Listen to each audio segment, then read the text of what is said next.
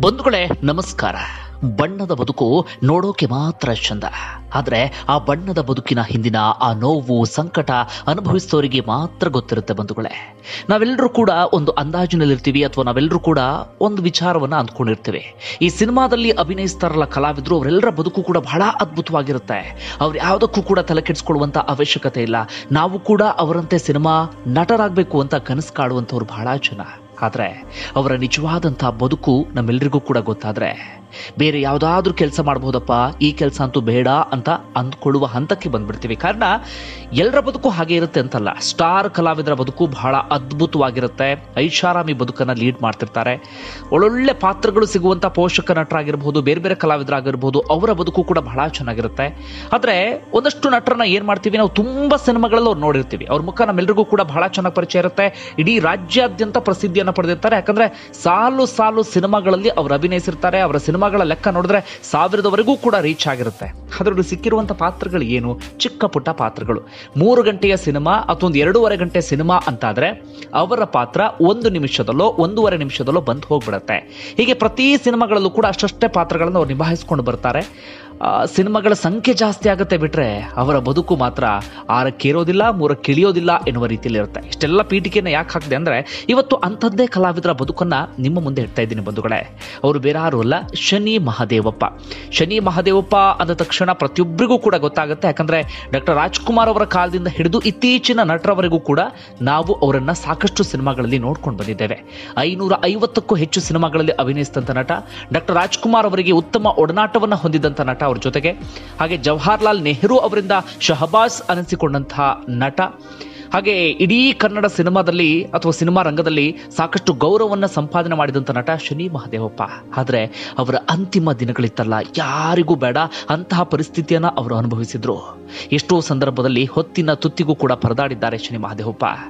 ಚಿಕಿತ್ಸೆಗೆ ಸರಿಯಾದ ರೀತಿಯಲ್ಲಿ ಹಣವನ್ನು ಹೊಂದಿಸೋದಕ್ಕಾಗದೆ ಪರದಾಡಿದ್ದಾರೆ ಶ್ರೀ ಮಹಾದೇವಪ್ಪ. ಕೊನೆಯದಾಗಿ ತಮ್ಮ ಎರಡು ಕಣ್ಣುಗಳನ್ನು ಕೂಡ ಕಳೆದುಕೊಂಡ್ರು.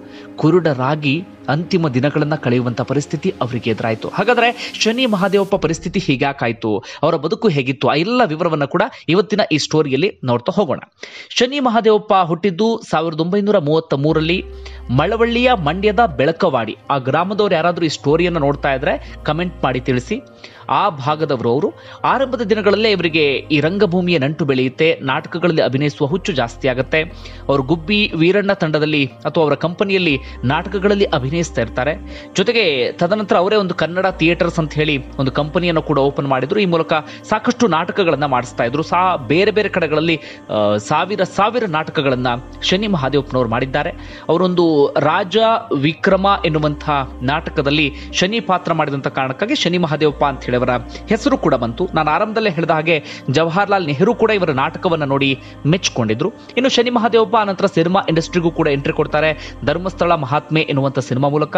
ಅದಾದ ನಂತರ ತ್ರಿಮೂರ್ತಿ ಸಿನಿಮಾ ಮೂಲಕ ಅವರಿಗೆ ಸಾಲು ಸಾಲು ಪಾತ್ರಗಳು ಸಿಗೋದಿಕ್ಕೆ ಶುರುವಾಗುತ್ತೆ. ಹೆಚ್ಚು ಕಡಿಮೆ ಸಾವಿರದ ಒಂಬೈನೂರ ಎಪ್ಪತ್ತು, ಎಪ್ಪತ್ತೆರಡು ಆ ಸಂದರ್ಭದಲ್ಲಿ ಅವರು ಸಿನಿಮಾ ಇಂಡಸ್ಟ್ರಿಗೆ ಎಂಟ್ರಿ ಕೊಟ್ಟಂತವರು. ಆನಂತರ ಡಾಕ್ಟರ್ ರಾಜ್ಕುಮಾರ್ ಅವರ ಬಹುತೇಕ ಸಿನಿಮಾಗಳಲ್ಲಿ ಇವರಿಗೊಂದು ಪಾತ್ರ ಇದ್ದೇ ಇರ್ತಿತ್ತು. ಹಾಗೆ ಡಾಕ್ಟರ್ ರಾಜ್ಕುಮಾರ್ ಅವರೊಂದು ಕ್ಲೋಸ್ ಸರ್ಕಲ್ ಅಂತ ಇತ್ತು. ಎಲ್ಲರೂ ಕೂಡ ಕುತ್ಕೊಂಡು ಖುಷಿ ಖುಷಿಯಾಗಿ ಕಾಲವನ್ನು ಕಳೆಯೋರು. ಅದರಲ್ಲಿ ಶನಿ ಮಹಾದೇವಪ್ಪ ಕೂಡ ಒಬ್ರು. ಒಂದಷ್ಟು ಸಿನಿಮಾಗಳ ಹೆಸರನ್ನು ನಾನು ಹೇಳ್ತಾ ಹೋಗ್ತೀನಿ. ಶಂಕರ್ ಗುರು ಸಿನಿಮಾ ಆಗಿರಬಹುದು ಹಾಗೆ ಕವಿರತ್ನ ಕಾಳಿದಾಸರದ ಡಿಂಡಿಮಾ ಪಾತ್ರ ಇವರಿಗೆ ಬಹಳ ಹೆಸರನ್ನ ತಂದುಕೊಡ್ತು ಶ್ರೀನಿವಾಸ ಕಲ್ಯಾಣ ಆಗಿರಬಹುದು ಗುರುಬ್ರಹ್ಮ ಆಗಿರಬಹುದು ಹೀಗೆ ಸಾಲು ಸಾಲು ಸಿನಿಮಾಗಳಲ್ಲಿ ಅಭಿನಯಿಸಿದಂತ ಕಲಾವಿದ. ಶನಿ ಮಹಾದೇವಪ್ಪನವರು. ಹೆಚ್ಚು ಕಡಿಮೆ ಕೊನೆಯವರೆಗೂ ಕೂಡ ಇವರಿಗೆ ಅವಕಾಶಗಳಿಗೆ ತೀರಾ ತೀರಾ ಕೊರತೆ ಆಗಲಿಲ್ಲ ಅದನ್ನ ನಾನು ಆಗ್ಲೇ ಹೇಳಿದ ಹಾಗೆ ಇವರಿಗೆ ಅಂತ ಅದ್ಭುತ ಪಾತ್ರಗಳೇನು ಸಿಗ್ತಾ ಇರಲಿಲ್ಲ. ಇನ್ನು ಶನಿ ಮಹಾದೇವಪ್ಪನವರ ಬದುಕಿನ ಬಗ್ಗೆ ನಾನು ಹೇಳ್ತಾ ಹೋಗ್ತೀನಿ ಕೇಳಿ. ನಾಟಕಗಳನ್ನ ಮಾಡುವಂತ ಸಂದರ್ಭದಲ್ಲಿ ತಕ್ಕ ಮಟ್ಟಿಗೆ ಇವರಿದ್ರು. ಆನಂತರ ನಾಟಕಗಳ ಇದು ಕಡಿಮೆ ಆಗೋಕ್ಕೆ ಶುರುವಾಯಿತು. ಆನಂತರ ಇವರು ಸಿನಿಮಾದಲ್ಲಿ ತುಂಬ ಆಕ್ಟಿವ್ ಆಗ್ತಾರೆ. ಸಿನಿಮಾದಲ್ಲಿ ಹೀಗೆ ಸಾಲು ಸಾಲು ಪಾತ್ರಗಳನ್ನು ಮಾಡ್ಕೊಂಡು ಹೋಗ್ತಿರ್ತಾರೆ. ಆರಂಭದಲ್ಲೇನೋ ಇವರ ಜೀವನ ಚೆನ್ನಾಗಿರುತ್ತೆ. ಬಟ್ ಹೇಳ್ಕೊಳ್ಳುವಂಥ ಸಂಭಾವನೆ ಇವ್ರಿಗೆ ಸಿಗ್ತಾ ಇರಲಿಲ್ಲ. ಇವರೇ ಒಂದು ಕಡೆ ಹೇಳ್ಕೊಳ್ಳುವ ಹಾಗೆ ಅತಿ ಹೆಚ್ಚು ಅಂತ ಒಂದು ಸಿನಿಮಾಗೆ ಇವರು ಪಡ್ಕೊಂಡಂತ ಸಂಭಾವನೆ ಅಂದರೆ ಅದು ಹತ್ತು ಸಾವಿರ ರೂಪಾಯಿ ಅಂತೆ ಅದು ಕೂಡ ಮೂರ್ನಾಲ್ಕು ಕಂತುಗಳಲ್ಲಿ ಅವರಿಗೆ ಆ ಹತ್ತು ಸಾವಿರ ರೂಪಾಯಿಯನ್ನು ಕೊಡಲಾಗಿತ್ತು.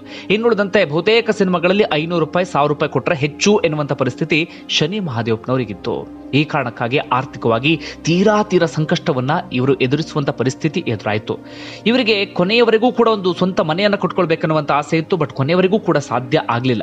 ಬೆಂಗಳೂರಿನ ಶೇಷಾದ್ರಿಪುರದ ಸ್ವಸ್ತಿಕ್ನಲ್ಲಿರುವಂತ ಕಿನೋ ಟಾಕಿಸ್ ಮುಂಭಾಗದಲ್ಲಿ ಒಂದು ಸಣ್ಣ ಮನೆಯಲ್ಲಿ ಇವರು ಬಾಡಿಗೆಗೆ ವಾಸ ಇದ್ರು, ಅವರ ಪತ್ನಿಯ ಜೊತೆಗೆ. ಇನ್ನು ಅವ್ರ ಪತ್ನಿಗೂ ಕೂಡ ಹಿಂದೆ ಆಸಿಡ್ ಅನ್ನ ಎರಚಲಾಗಿತ್ತು ಇವರಿಗೆ ಆಸಿಡ್ ಎರಚೋಕ್ ಬಂದ್ರಂತೆ ಬೈ ಮಿಸ್ ಆಗಿ ಅವರ ಪತ್ನಿ ಮುಖದ ಮೇಲೂ ಕೂಡ ಬಿದ್ದಿತ್ತು. ಆ ರೀತಿಯಲ್ಲೂ ಕೂಡ ಒಂದಷ್ಟು ಸಂಕಷ್ಟವನ್ನ ಎದುರಿಸಿದ್ರು ಬಿಡಿ.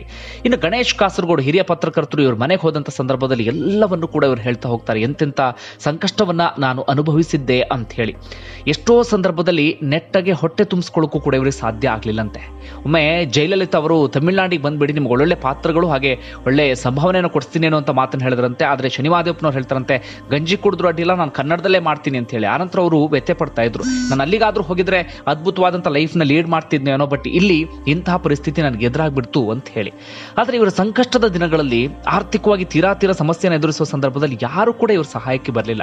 ಅವರಿಗೆ ಮಗ ಮತ್ತೆ ಮಗಳು ಇದ್ರು, ಮಗಳನ್ನು ಮದುವೆ ಮಾಡಿಕೊಟ್ಟಿದ್ರು, ಅವ್ರು ಹೊರಗಡೆ ಹೋಗ್ಬಿಟ್ರು, ಮಗನಿಗೂ ಕೂಡ ಹೇಳ್ಕೊಳ್ಳುವಂಥ ಕೆಲಸ ಇರದಂತಹ ಕಾರಣಕ್ಕಾಗಿ ಕೊನೆ ಕೊನೆಗೆ ಇವರಿಗೂ ಕೂಡ ಸಿನಿಮಾ ಅವಕಾಶಗಳು ಕಡಿಮೆ ಆಯಿತು. ಸಿನಿಮಾ ಇದ್ರೂ ಕೂಡ ತಿಂಗಳಿಗೆ ಮೂರು ಸಿನಿಮಾನು, ನಾಲ್ಕು ಸಿನಿಮಾನು ಇರ್ತಿತ್ತು. ಒಂದು ಸಿನಿಮಾಗೆ ಹೆಚ್ಚು ಕಡಿಮೆ ಐನೂರು ರೂಪಾಯಿ, ಒಂದು ಸಾವಿರ ರೂಪಾಯಿ ಕೊಡ್ತಾ ಇದ್ರು. ಸಿನಿಮಾದ ಸಂಭಾವನೆ ಅಂತ ಇವ್ರಿಗೆ ತಿಂಗಳಿಗೆ ಸಿಗ್ತಾ ಇದ್ದು ನಾಲ್ಕರಿಂದ ಐದು ಸಾವಿರ ರೂಪಾಯಿ ಮಾತ್ರ. ಇನ್ನು ಸರ್ಕಾರದಿಂದ ಹಿರಿಯ ನಟ ಶಿವರಾಮ್ ಅವರು ಪೆನ್ಷನ್ ಬರುವ ಹಾಗೆ ಮಾಡಿದ್ರು. ಇವ್ರ ಹೆಂಡತಿಗೆ ಐನೂರು ರೂಪಾಯಿ, ಹಾಗೆ ಇವರಿಗೆ ಐನೂರು ರೂಪಾಯಿ.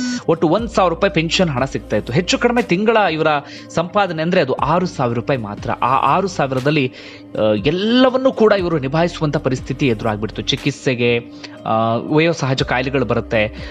ಊಟಕ್ಕೆ, ಮನೆ ಬಾಡಿಗೆಗೆ, ಬೇರೆ ಬೇರೆ ಎಲ್ಲವನ್ನೂ ಕೂಡ ಅಷ್ಟರಲ್ಲೇ ನಿಭಾಯಿಸುವಂಥ ಪರಿಸ್ಥಿತಿ ಶನಿ ಮಹಾದೇವಪ್ಪನವರಿಗೆ ಎದುರಾಗ್ಬಿಡ್ತು. ಅದರಲ್ಲೂ ಕೂಡ ಕೊನೆಯ ದಿನಗಳಲ್ಲಂತೂ ತೀರಾ ತೀರಾ ಸಂಕಷ್ಟ ಇವರಿಗೆ ಎದುರಾಯಿತು. ಬೈಪಾಸ್ ಸರ್ಜರಿಯನ್ನು ಮಾಡಿಸ್ತಾರೆ. ಎ- ಎದೆ ನೋವು ಕಾಣಿಸ್ಕೊಳ್ತಾ ಇತ್ತು. ಆನಂತರ ಅವರಿಗೆ ಅಲ್ಲಿ ಬ್ಲಡ್ ಬ್ಲಾಕ್ ಆಗಿದೆ ಎನ್ನುವಂಥ ವಿಚಾರವೂ ಕೂಡ ಗೊತ್ತಾಯಿತು.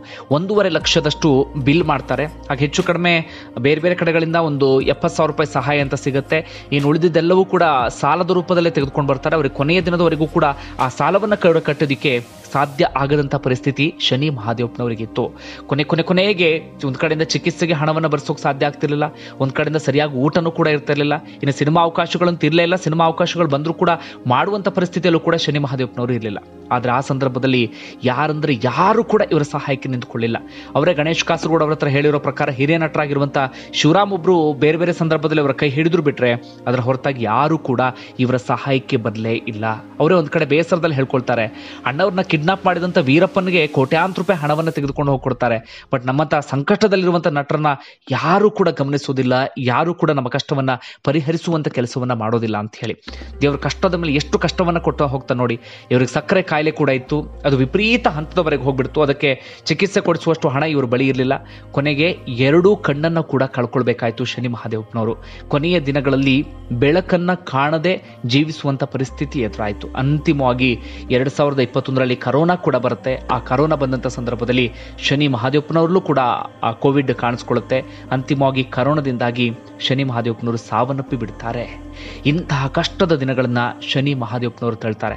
ನಾವು ಅವ್ರನ್ನ ಸಿನಿಮಾಗಳನ್ನ ನೋಡಿ ಅಂದ್ಕೊಂಡಿದ್ವಿ. ಬಹಳ ಚೆನ್ನಾಗಿದ್ದಾರೆ, ಬಹಳ ಅದ್ಭುತವಾದಂಥ ಜೀವನ ಇವ್ರದ್ದು ಯಾವುದಕ್ಕೂ ಕೂಡ ಸಮಸ್ಯೆ ಇಲ್ಲ ಅಂತ ಹೇಳಿ, ಆದರೆ ಇವರ ವಾಸ್ತವ ಜೀವನ ಹೇಗಿತ್ತು ಬಂಧುಗಳೇ? ಯಾಕೆ ಈ ಸ್ಟೋರಿನ ನಿಮ್ಮ ಮುಂದೆ ಇಟ್ಟೆ ಅಂದ್ರೆ ಒಂದು, ಈ ಕಲಾವಿದರ ಬದುಕು ಹೇಗೆ ಅಂತ ನಮಗೆ ಗೊತ್ತಾಗಬೇಕು. ನಾವು ಬಹಳ ಸುಲಭವಾಗಿ ಮಾತಾಡ್ತೀವಿ, ಒಂದು ವಿಚಾರ.